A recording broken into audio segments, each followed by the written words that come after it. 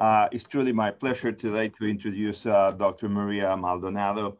Uh, Dr. Maldonado graduated from Albert, Albert Einstein College of Medicine in the Bronx and went to do her residency in primary care internal medicine at New York Presbyterian Hospital, Cornell Medical Center. And right uh, before joining uh, the Mount Sinai Health System, she served as program director of the internal medicine residency program and associate chair of medicine at Stamford Hospital in Connecticut. She was the chair of the Alliance for Academic Internal Medicine's Diversity and Inclusion Committee for two years and served on the Association of Program Directors of in Internal Medicine Council for three years. She joined the, our system in September of 2016 as a primary care physician and serves as a site director of the Icahn School of Medicine at Mount Sinai's primary care clerkship. Also, we heard that she practices in Yonkers. Uh, additionally, she is an associate professor of medicine and serves as director of education for cross-cultural and patient-centered communication for the Department of Medicine and serves as faculty advisor in the Icahn School of Medicine at Mount Sinai. Her research and clinical interests are in cross-cultural care and healthcare disparities, implicit bias, medical education, and delivery of patient-centered care, and caring passionately for the underserved patients population. Uh, and as you mentioned before, it's for me, it's a special pleasure to introduce you uh, since also one of my favorite topics is the topics uh, that you are addressing today. So thank you for being with us today. Thank you, uh, uh Dr. Carnevale, for that uh, very uh, nice um, introduction. And it is really a pleasure uh, to be with all of you um, this morning, although I really confess that I would rather be with all of you today in person. And I'm looking forward to that time where we can do that again because I am hopeful that it is coming uh, soon.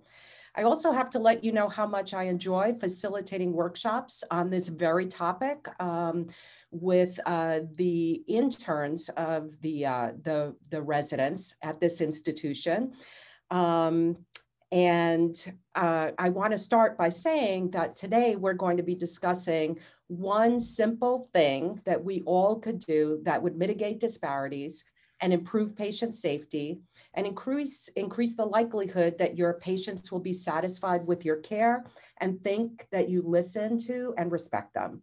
So if I were here eh, with all of you in person today, I would ask you to raise your hands um, to tell me how many of you would like to be able to provide that kind of care for your patients.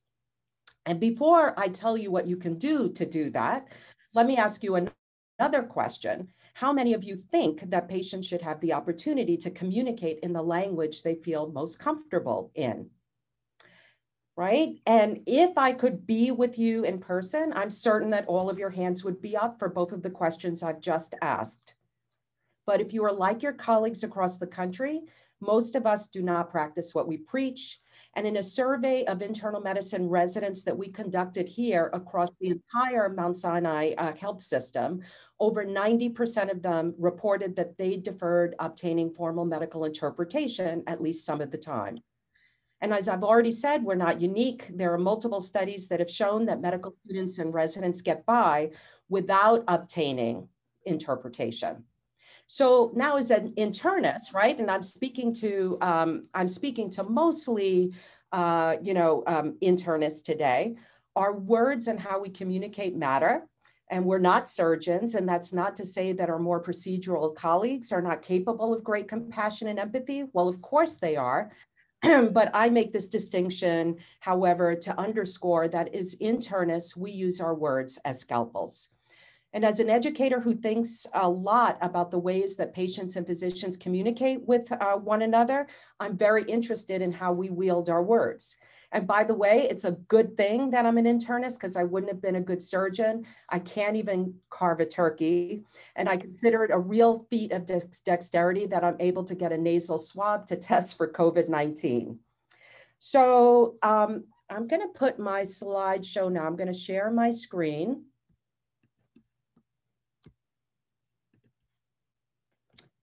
this over a little bit.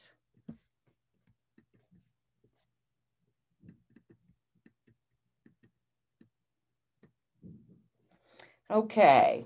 Now, when it comes to caring for patients with limited English proficiency or LEP, as I'll be abbreviating uh, throughout this talk, as I've already said, I think that we would all agree that the most fundamental thing to promote outstanding patient physician communication is to make sure that you're both speaking the same language. And the way to do that is to obtain formal medical interpretation if you don't speak the same language as your patient. And if you take nothing else from this talk today and you decide that you just want to turn your camera off and take a nap, that is the one thing I'd love for you to walk away with. Now, I've been interested in what it means to care for patients with limited English proficiency for over a decade from an academic perspective. But from a personal perspective, I'd have to say that it began when I was in my late teens and early 20s when I began to serve as a cultural broker for my grandmother. And she was Puerto Rican. And while she could speak some English, her preferred language for communicating was Spanish. and she suffered from severe spinal stenosis. And I'd accompany her to the orthopedic clinic at Mount Sinai Hospital right across uh, the park, where she saw young residents who, whose faces changed from week to week. Formal medical interpretation was never obtained, nor was she told of her right to formal medical interpretation. And what complicated things is that while I'm betting that many of you have already assumed that I speak Spanish fluently, as I've confessed to many of the, uh, the residents um, at Mount Sinai West Morningside, I actually speak Spanish almost as well as a three-year-old child. But we muddled through and she was consented for her spine uh, surgery in English. And luckily, nothing went wrong. So I have no disclosures to, de to, to declare. And these are the learning objectives for our talk today. Now, today, I'm going to focus on three key points. And the first key point is that patients with limited English proficiency are subject to disparities, patient safety errors, increased cost of care, bias, and they experience suboptimal patient physician relationships. The second key point that I'll make is that outstanding patient physician communication that mitigates disparities is possible to achieve even in the face of language discordance between you and your patients. And finally, the third key point I'll be making is that systemic interventions are needed. So let's get into our first key point.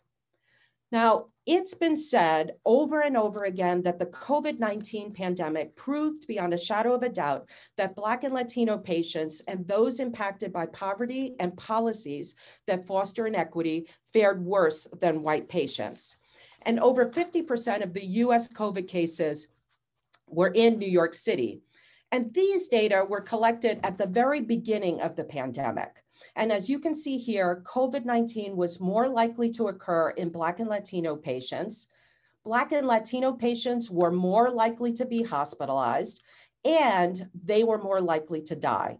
And as this bar graph shows, Latino patients were slightly more likely to die than Black patients. And while we can't make the assumption that it was because of language barriers, because of course many Latino patients are bilingual, it certainly makes you wonder. Now, you've all heard about the reasons that were proposed for these findings, right? That Black and Latinos are more likely to work in, a, in the essential professions, that we're more likely to have underlying illnesses that make us more susceptible to moderate to severe COVID 19 illness, more likely to live in crowded conditions, and um, didn't have the ability to socially distance and work from home. And many immigrants were not able to stop working during the pandemic because they weren't eligible for any of the state unemployment or under or for payments under the CARE Act. Now, when we consider the impact of COVID-19 uh, on patients with LEP, it is likely that language barriers got in the way of receiving information quickly and definitely impacted the ability to get access to healthcare as practices were moving to more virtual models. In fact, one of my own patients told me of difficulties that she had getting through to me. She was hung up on when she couldn't speak English. Now, imagine, right? We're trying to obtain formal medical interpretation at a time where infection control practices include N95 masks, face shields, gowns, and patients too are wearing face masks. And in the hospital, they're in these isolated rooms where healthcare professionals wanted to limit as much face to face time as possible. Obtaining formal medical interpretation pre COVID was already an inconsistent practice, and COVID 19 exacerbated the problem. And there were several articles early on in the pandemic that was written in the popular press about these uh, barriers. Now, the other thing that happened is that the COVID 19 pandemic occurred in tandem with the public charge rule that under the prior administration was developed to help immigration officials determine whether a person was likely to overutilize public benefits like food stamps and Medicaid. And as you might imagine, these changes or uh, discouraged many in the immigrant community from using charity based care for fear that this was going to adversely impact their immigration status.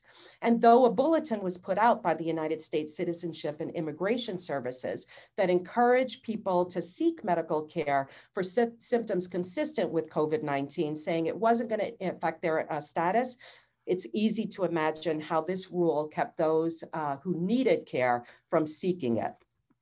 Now, over the past year, the academic literature has demonstrated the disparities that exist uh, for patients uh, from vulnerable groups as it exists uh, for COVID-19. Now, as can be seen on these slides, hospitalization rates and death rates are higher for Blacks, Hispanics, and Asians compared with whites, and patients with limited English profici proficiency had worse outcomes. And in this study uh, by Kim and colleagues, they demonstrated while patients with limited English proficiency were less likely, as can be seen here on the left, less likely to be tested for COVID 19, the proportion of COVID 19 cases were 4.6 fold higher in patients with LEP compared to those without it. And Karmakar showed that having limited uh, English proficiency was associated with increased risk of disease incidence, as well as a uh, higher mortality rate, as can be seen in that block in red. Now, sadly, while we now have a formidable tool for mitigating these outcomes, it appears that patients with limited English proficiency are experiencing uh, barriers to getting access to the COVID 19 vaccination right? And in Yonkers, where I live, the mayor took the step of designating a vaccine center in the heart of the poorest section of Yonkers and ensured that those who live in vulnerable zip codes had access to signing up for the vaccine a week before all others. Now, we might consider the approach of designating limited English proficiency as a qualifying condition for getting earlier access to the vaccine. And we might also consider looking in our practices and seeing which patients have limited English proficiency and doing direct outreach to them. Now, even before the pandemic, we knew that individuals with limited English proficiency face multiple barriers to accessing uh, quality care. And the literature is replete with studies that patients with limited English proficiency are subject to disparities. For example, patients with LEP are more likely to have poorly controlled hypertension than those with limited with, with English proficiency. They are less likely to have a usual source of care. They're more likely to have trouble getting through to their doctors. They are less likely to have preventive screenings such as colonoscopies, mammograms, and pap smears. And patients with LEP are more likely to forego needed medical care and less likely to have a healthcare visit. Um, patients with limited English proficiency um, uh, there, there are increased costs of care associated with caring for patients with LEP. So uh, patients with LEP have longer lengths of stay in the hospital. They have a greater risk of readmission and they have more diagnostic studies. Now, what happens when formal medical interpretation is used? In this recent study, they showed that by implementing ready bedside access to phone interpreters, this significantly decreased the readmission rate and interestingly led to over a million dollars cost savings. And when the intervention was removed, the readmission rate again increased, as did the cost of care. Now, as you might imagine, patients with limited English proficiency are subject to patient safety events. And hospitalized um, LEP patients are less likely to have documentation of informed consent for common invasive procedures, and they're more likely to suffer serious patient error. They get improper prep for tests, and procedures, and they had a greater risk of line and surgical infections, falls, and pressure ulcers. ulcers. Now, um, I, I want to call out uh, Dr. Sananda Moctezuma, who is doing a quality improvement uh, project at Mount Sinai West Morningside.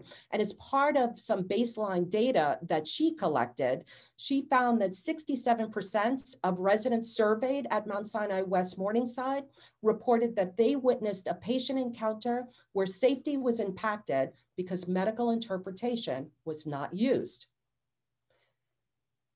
It has been shown also that patients with limited English proficiency have suboptimal patient-physician relationships. And patient-physician communication is measured by whether individuals report whether their physicians always explain things in a way they can understand, show respect for them, and they listen carefully. So as can be seen here by this slide, the lines in red are patients with limited English proficiency, and those patients are less likely to report that their medical provider always explains things in a way they can understand. They're less likely to report that their provider always listen, listens to them. And they're also less likely to report that their provider always shows uh, respect. So how do we mitigate these outcomes of disparities, cost of care, patient safety events, and suboptimal patient-physician relationships? Well, the uh, Agency for Healthcare uh, Research uh, and Quality proposed key recommendations for improving care for patients with LEP, including the collection and tracking of language access needs, developing policy on language access need, and underscoring the importance of commitment across the entire healthcare system. It certainly requires a multi-pronged approach. So let's move into my second key point, which is that outstanding patient-physician communication can mitigate disparities even in the face of language discordance. So I'd, I'd, like to dig into this topic by presenting a patient that I saw in my practice a couple of years ago, because I think it will illustrate this point very nicely, and also because I'm a lover of narrative medicine. And this patient uh, my patient was a 70 year old woman, and she had a history of lymphoma in remission. And she had, as you could imagine, received extensive treatment for her cancer.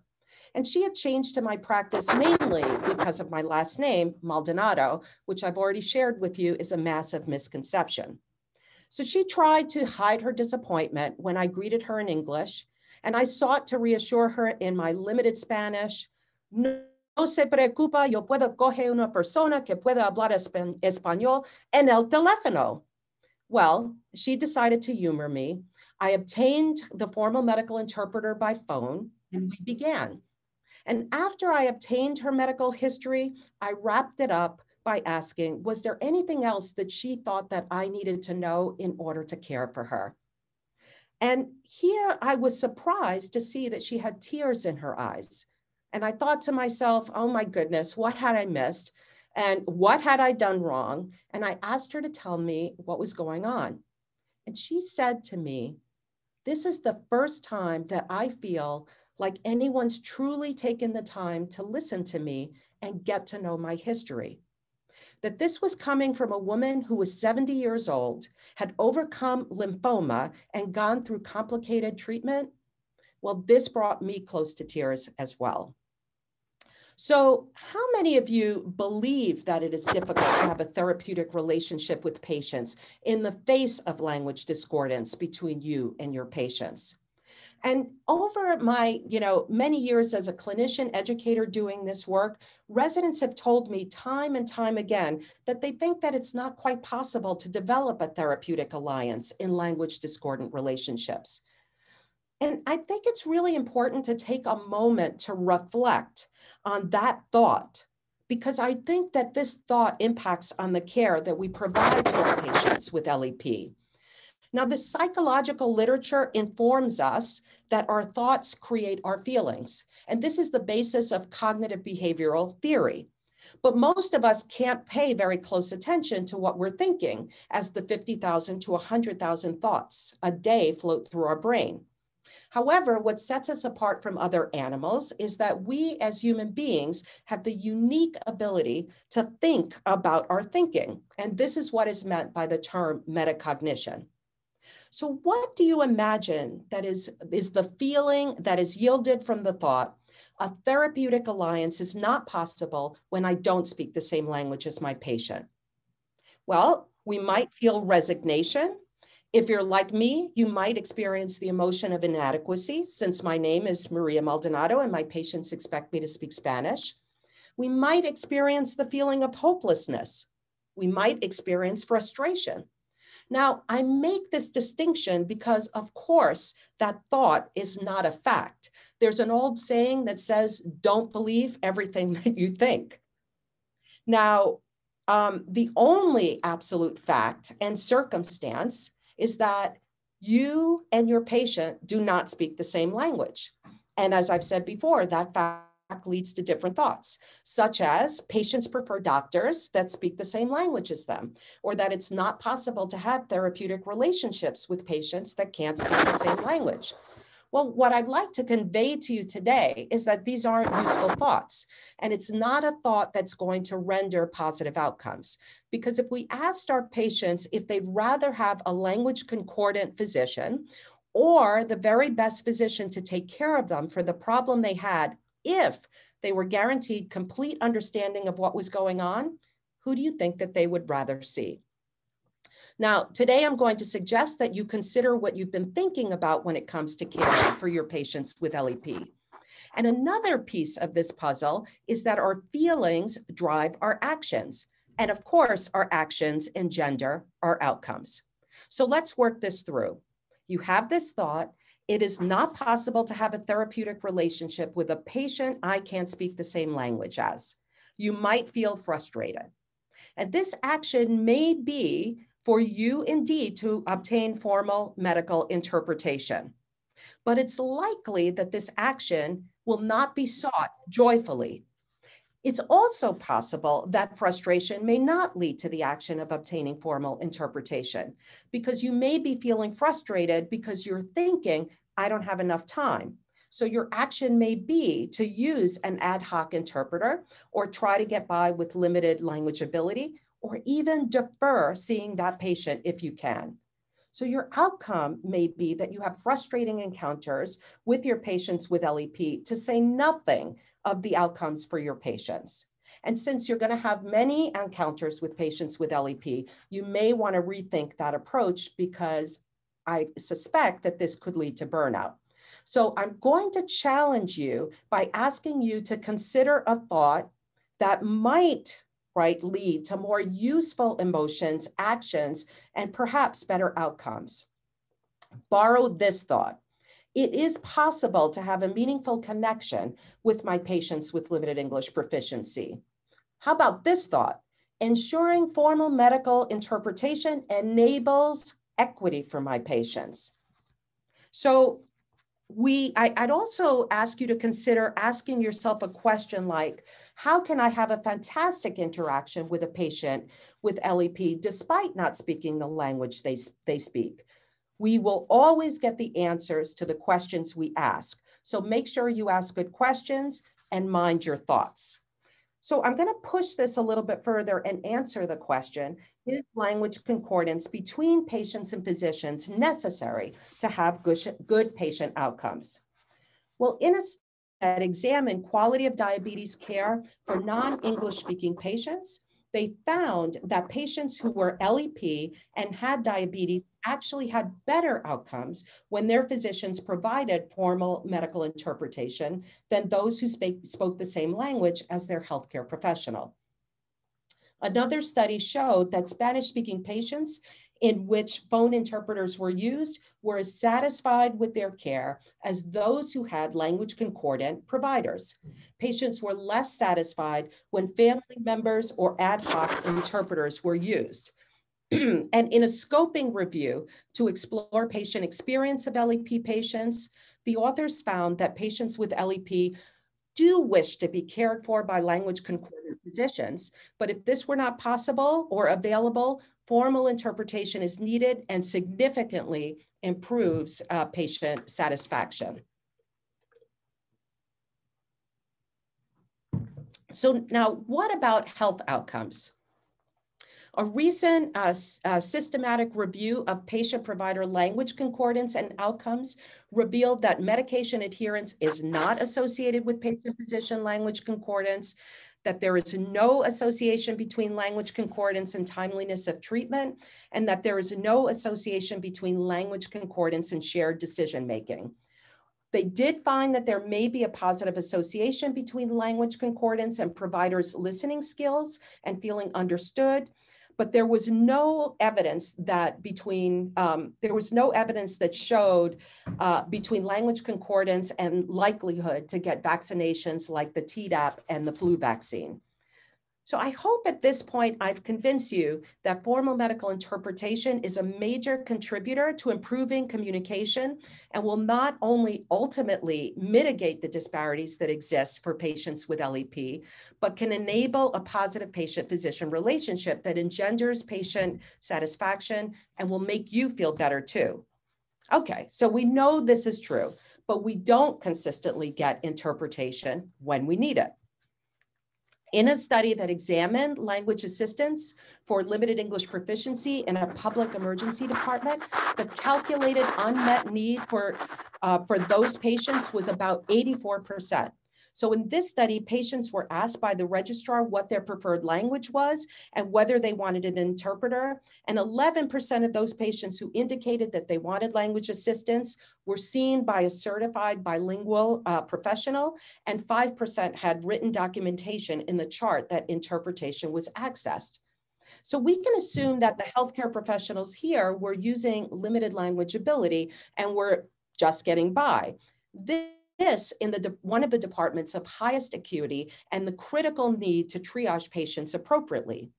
Now, it may also be that they just didn't document that they used formal interpretation. So another study showed that 66% of patients with limited English proficiency did not have documentation of interpreter use during hospital during their hospitalization. So this is a reminder to me to make a public service announcement that when you do use formal medical interpretation, you must document that in the chart. And if you are using your language ability to communicate with patients in that language, you must document that as well. So why don't we use formal medical interpretation? And perhaps answers can be gleaned from this qualitative study that was performed with medical students that explored the hidden curriculum as it related to the care of patients with LEP. And in this study, four themes emerged. The first theme was role modeling, where medical students spoke of the frustration that was demonstrated by attendings and residents who cared for patients with limited English proficiency. They spoke of systems factors, that there were inadequate interpreter services, lack of staff knowledge on how to access those services, and not enough identification in advance for those patients who needed it the theme of learning environment came up and they noted competing priorities and the seeming low value assigned to patients with LEP. And then finally, the organizational culture in that some staff members seemed to communicate that getting an interpreter went above and beyond standard of care, even though, by the way, it is standard of care. So does any of this resonate with you? And, and what's empowering is that all of us here have the power to be a great role model and to demonstrate that all patients have value and have the right to receive in, interpret information in the language they prefer, and to be matter of fact about obtaining interpretation when needed. But what about the other factors? And this leads me to my final key point today, that systemic interventions are needed. So everyone in the healthcare system needs to know that patients have legal rights.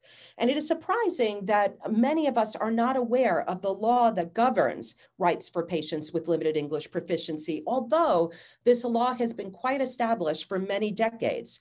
And when we did our baseline survey here at the system, only a third of the residents had ever heard of the Civil Rights Act of 1964, which prohibits discrimination based on national origin, providing equal protection uh, for immigrants. And then in the 1980s, there was the executive order uh, 13166 that was signed by President Bill Clinton that improved access to services for patients with limited English proficiency. And the Affordable Care Act included a non discrimination provision, Section 1557, which built on the Civil Rights Act of 1964 and other federal civil rights law by extending non discrimination protections. And up until this law, providing formal medical interpretation was essentially an unfunded mandate.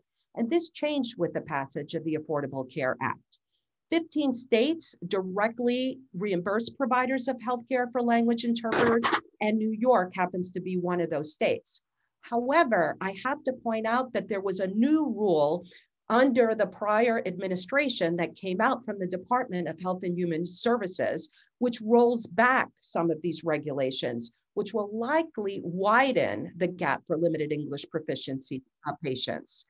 And federal funded entities will no longer be required to provide taglines on documentation that inform uh, patients of their rights to receive language uh, assistance. And also, lack, lacking language assistance programs are no longer going to be considered explicit breaches of regulatory compliance. So, there are also these national CLAS standards um, that really uh, state that all organizations that receive federal funding should assure the competence of language assistance provided to LEP, LEP families by interpreters and bilingual staff. Despite this law, despite national standards, hospitals continue to fall short and often fail to inform patients of their right to, inter- to an interpreter or to offer language assistance. Why does this happen? And in order to explain, I'd like to introduce a term that some of you may have heard about, normalized deviance.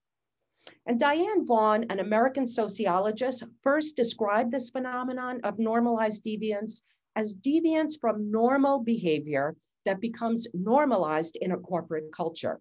and she described this as a process where a clearly unsafe practice comes to be considered normal if it does not immediately result in a catastrophe. And this was first described after the Space Shuttle Challenger disaster in the 1980s. Uh, I suspect maybe a little bit before uh, some of your time. And the root cause of this disaster was related to the repeated choice of NASA officials to fly the space shuttle despite a dangerous design flaw with the O rings. In other words, this disaster could have been prevented. And this phenomenon occurs when people in an organization become so insensitive to this deviant practice that it no longer feels wrong. And in healthcare, workers don't make choices with the intention to create harm. It generally happens because of the barriers that exist to, to use the correct procedure, such as cost and time pressure. And typically, we justify it as necessary that it's the only way to get by. Now, I would say here that we all have to take responsibility here because what is more deviant? Not obtaining formal medical interpretation each and every time it's indicated, or not putting systemic processes in place to overcome the barriers that exist. So I have witnessed examples of normalized deviance in the sphere, in the sphere of patient physician communication. For example, we give healthcare professionals 20 minutes to see a patient like this. An 82 year old person that you're seeing for the first time with a long and detailed medical history, who maybe is hard of hearing and has limited health literacy. Well, if I sound a little bit bitter, it's because, well, I am.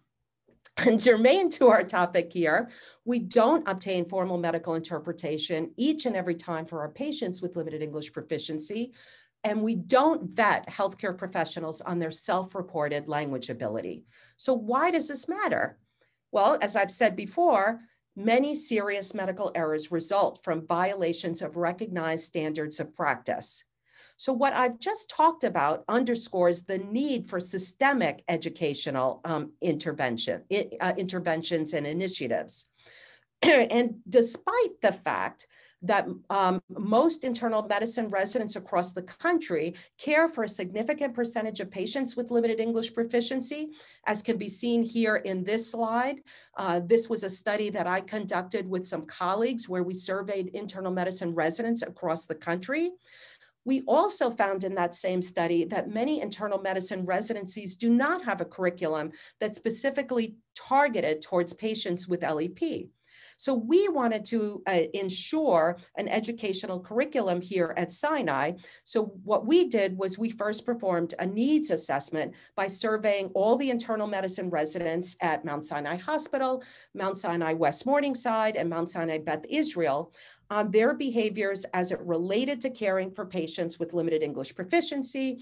We wanted to know whether they had ever deferred medical interpretation, if they were using ad hoc interpreters, what their perceived level of education was, uh, uh, for caring for patients with LEP, whether they had experienced any frustration or stress when caring for patients with LEP. And then after we uh, collected that baseline data, we created a curriculum um, uh, on caring for patients with LEP that included informing residents about the known disparities, uh, patient safety, cost of care issues that I've just talked about in this talk, um, the legal rights that patients had, and how to effectively utilize formal medical interpretation. And then after that, we surveyed the interns that received the curriculum and we compared their pre and post uh, curriculum responses. And so here's what we found. And so you can see that the pre responses are those in blue, uh, the post responses are those in the um, I guess you'd call that lavender. And the asterisks on top indicate that there was a significant difference pre and post uh, the educational curriculum.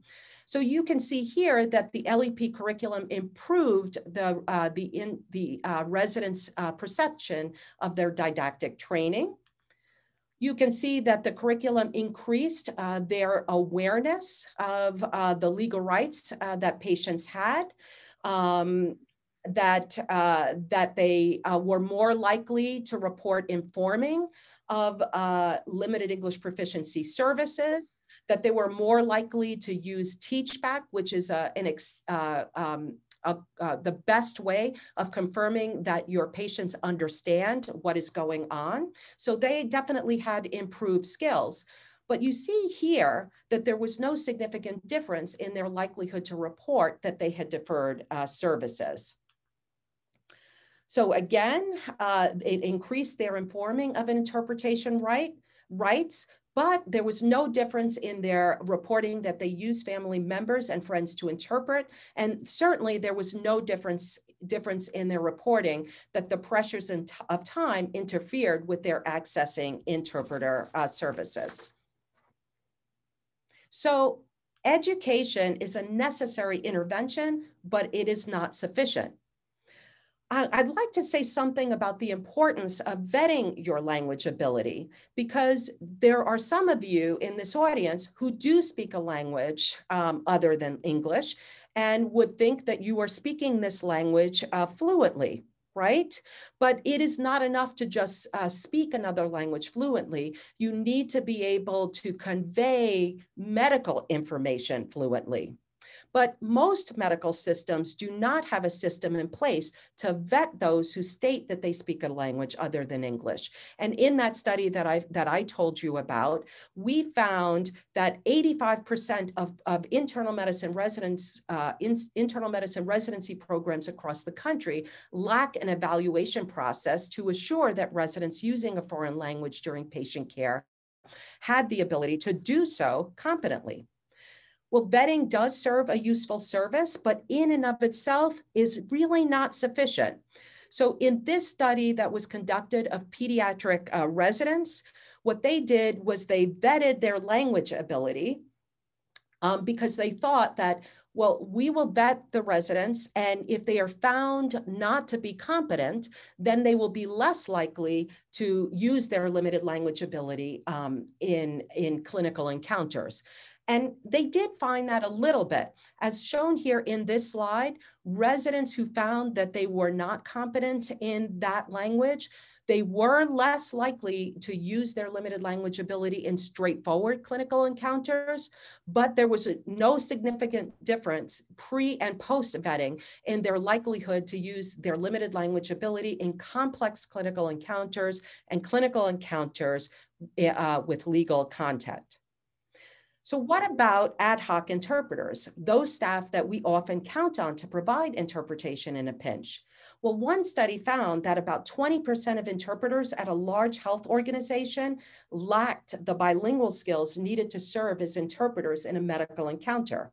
Anecdotally, at one of our Sinai hospitals, I was told that 90% of those who applied to be certified as a formal medical interpreter failed the basic screening. Now, finally, we must address the barrier of time.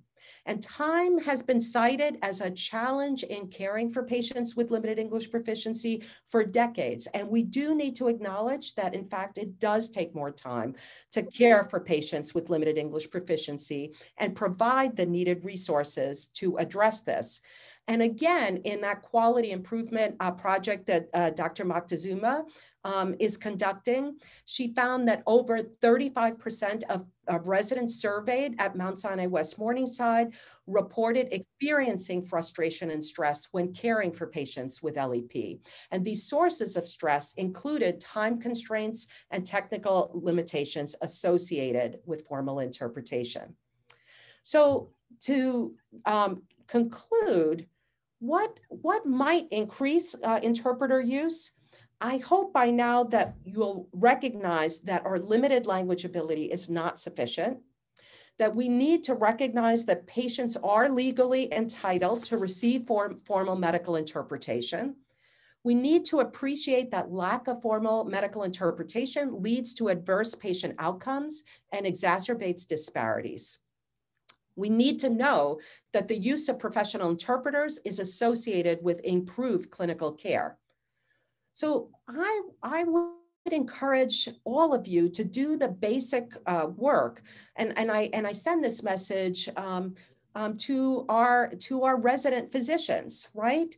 You know to spend some time really reflecting on defining the kind of physician that you want to be so that we can work toward becoming the kind of physician that truly practices equitable care. And i would ask you to ask yourselves these questions. What policies do you want to propagate and uphold? What do you believe that your patients need? Do you honestly believe in equitable care and what does that look like for your patients with limited English proficiency? How do you know that you've achieved it? And how will you advocate on behalf of your patients? All of you, no matter what level you are in your training, um, all of us have the power to change a system just by shining a light on what we know is not right every time we look at the language field on the electronic medical record and we see that the preferred language is English, when we know that the patient does not at all speak English. Every time that we see a healthcare professional attempting to get consent for a procedure in the wrong language, every time we use our limited language ability, every time we realize that we are not being given enough time to do what's needed for our patients every time we throw up our hands and say, it is what it is. We may not get it right all the time, but we must incrementally move toward the ideal of what we imagine ourselves to be. So I'd like to give a special thanks to uh, Dr. Thomas, Dr. Campbell, Dr. Farouk, and Dr. Sananda Moctezuma, all of whom who uh, have worked with me in developing the curriculum, and we continue to do uh, uh, what I consider this very special work. Thank you for your time this morning, and I, I hope we'll have some time for questions. Yes, thank you very much, Dr. Maldonado. I think we have uh, five minutes for questions. Uh, we have one on the chat. She's uh, Melissa Wiener from ID. She says, one challenge that I've run into with my patients who have LEP is being sent MyChart messages in their primary language. I'm not aware of any efficient mechanism to communicate through MyChart on in our system. Any thoughts or, re or recommendations? Yeah, this is this is uh, there's a, a ton of um, there's a, a, a ton of opportunities for quality improvement in this in this particular area and so i'm not really i'm not really aware um, of you know the mechanisms of being able to do that at this time but i know that attention is being focused in this area.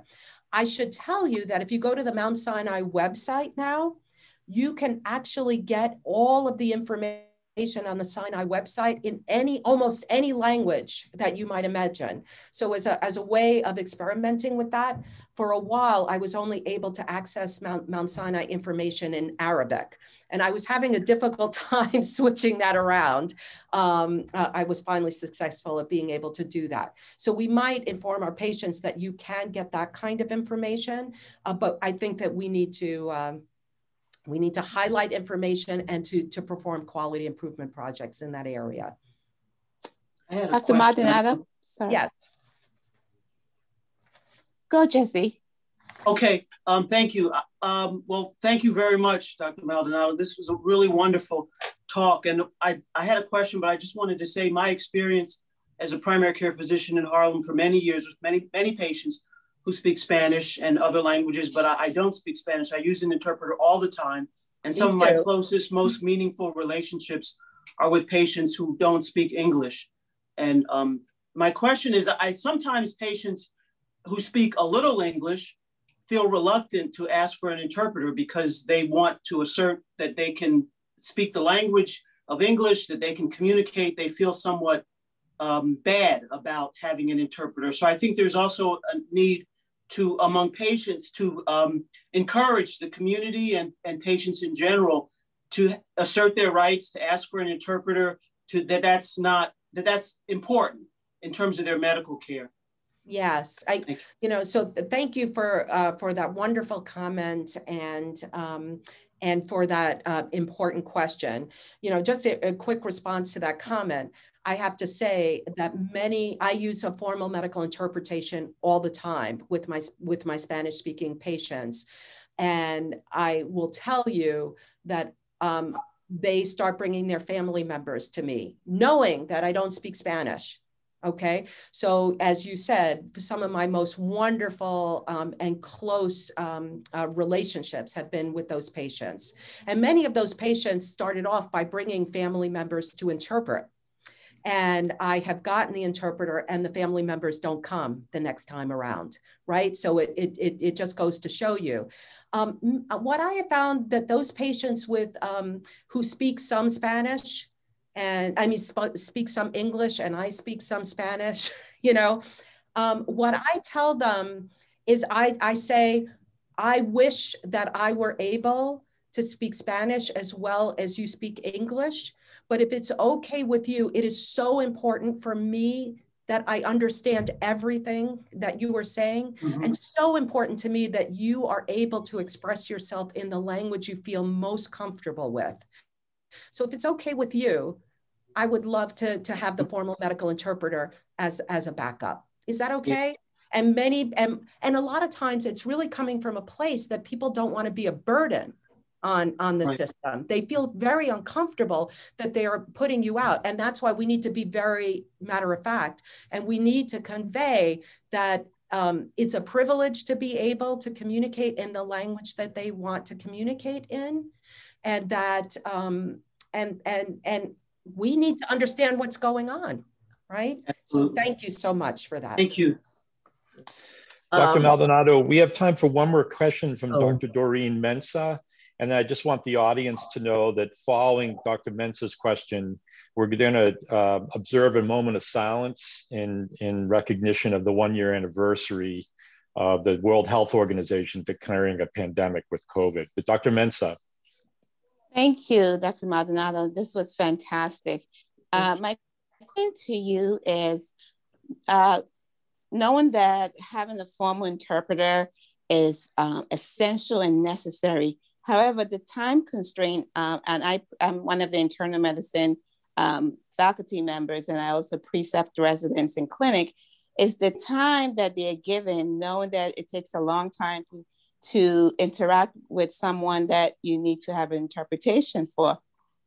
From a system standpoint, Hmm. How are we going to change that? Because that is a very significant limiting factor that is impacting how residents feel. Once you have a bad exchange and you have several patients who need interpretation and you need to be somewhere else at whatever time, it becomes um, onerous.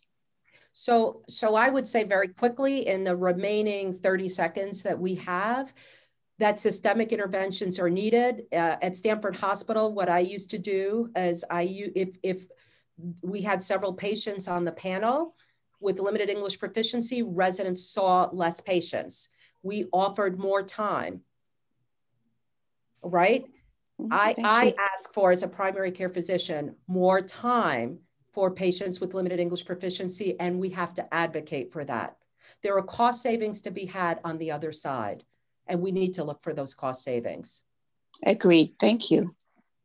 Dr. Maldonado, thank you again so much. It was really wonderful to have you. Um, I didn't say, you know, I, I, think many of us are so aware of, of this important work that you're doing. And also just want to really thank you for calling out the wonderful work of Dr. Moctezuma. We're really proud of her, and really proud of her contributions in this important area. So thank you again.